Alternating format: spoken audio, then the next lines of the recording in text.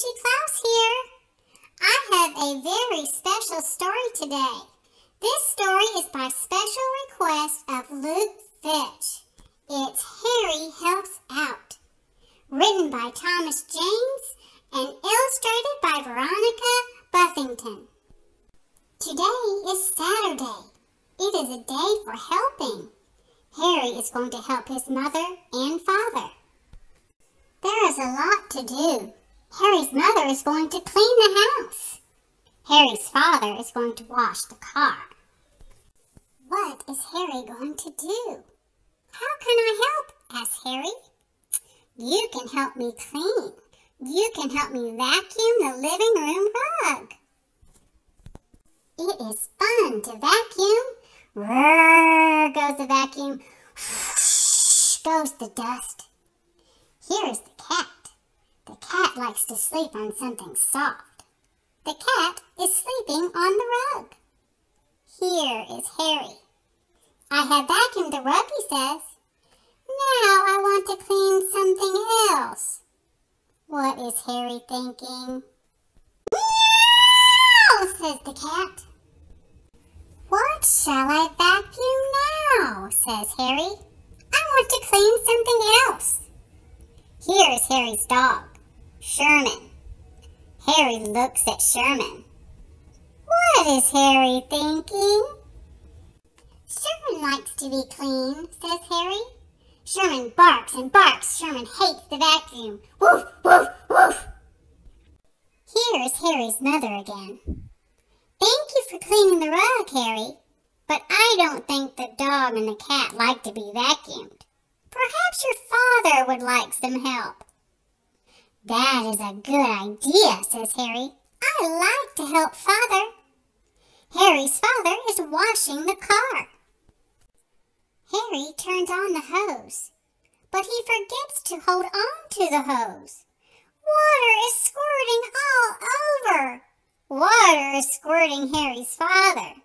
Turn off the water, shouts Harry's father. Turn off the water, Harry! I am sorry, father, says Harry. That's all right, Harry. Here, you can use this bucket and sponge to wash the car. Harry's father goes in the house to put on some dry clothes. Now Harry is washing the car. He is so happy that he forgets where the bucket is.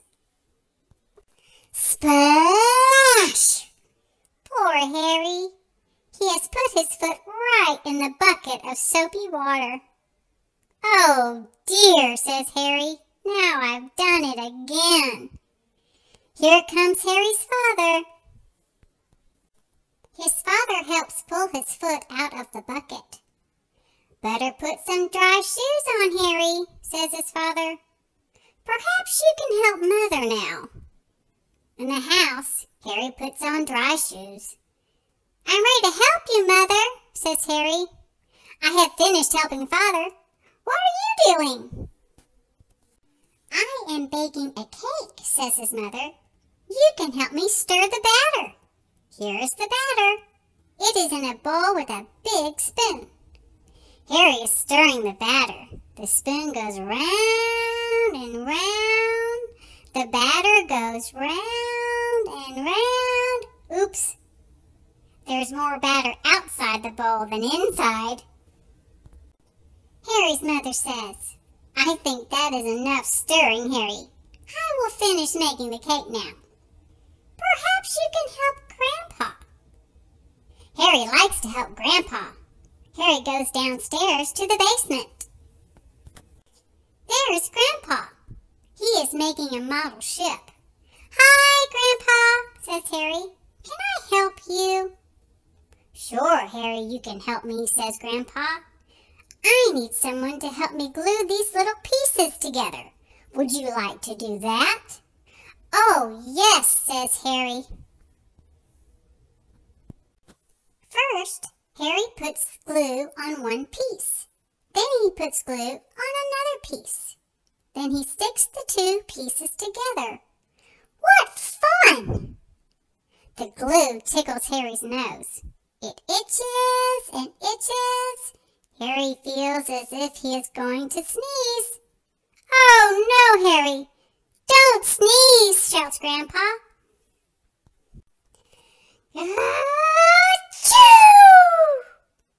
Too late. Harry sneezes so hard he blows all the little pieces right off the table. There are pieces on the wall. There are pieces on the floor.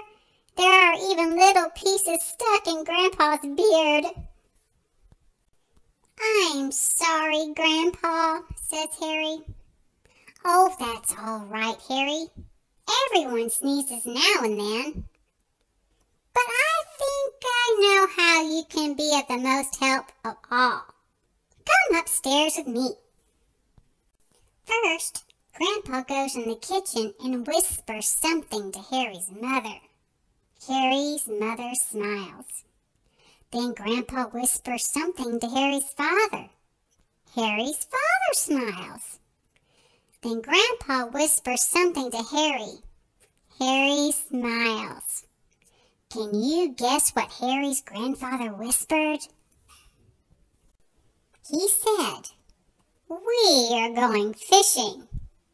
Harry is going to help keep me company. Now Harry is the best helper of all. That's the end of the story. I hope you liked it, Luke. If you would like to request a special story, just get in touch with my mom, Shara Klaus, and she'll get back to you. Bye bye for now.